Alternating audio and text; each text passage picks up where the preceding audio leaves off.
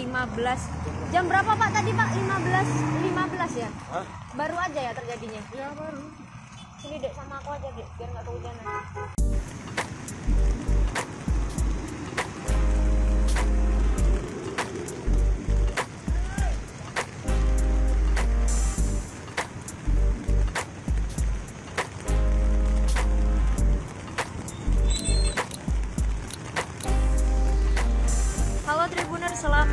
sore. Kembali lagi bersama saya Uci Swaibah melaporkan langsung dari Jalan Sudirman, tepatnya dari arah Catering Hall menuju ke bandara ya Tribuner.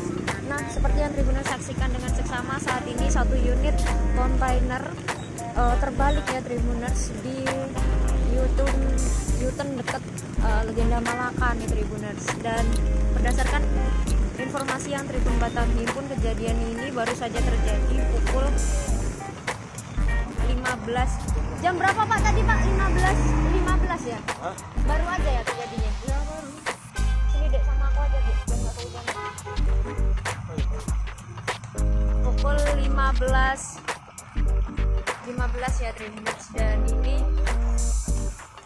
dan ini tidak ada korban jiwa dalam insiden ini namun eh, supirnya berada di sana ya Tribuners jadi tadi Eh, berdasarkan informasi yang Tribun Batam himpun ada mobil yang motong jalan Tribuners. Jadi memang melintas di pinggiran sini Tribuners. Ke arah hendak putar balik ke arah sana Tribuners. Padahal kan ini jalur menuju ke bandara namun malah diambil jalan yang sebelah sini. Dan ketika mobil itu nyebrang nih Tribuners dan kontainer ini nggak bisa Satu unit kontainer BP 9581 ZG terbalik di Jalan Jenderal Sudirman dari Kepri Mall arah bandara tepatnya sebelum Mega Legenda, Jumat tanggal 19 Januari tahun 2024. Insiden ini terjadi sekira pukul 15.15 waktu Indonesia Barat, tepat setelah Utun. Belum diketahui pasti kronologi kejadian seperti apa, namun kemacetan panjang terjadi mengingat kecelakaan terjadi saat jam pulang kerja. Tidak ada korban jiwa dalam kecelakaan ini, sopir truk kontainer selamat namun pada kaki kanannya sedikit pincang.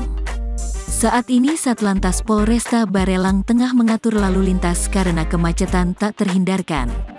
Sejauh ini evakuasi truk yang mengalami kecelakaan masih terus dilakukan oleh unit Laka Lantas Polresta Barelang. Polisi juga sejauh ini masih melakukan pengaturan lalu lintas pasca truk terbalik tersebut.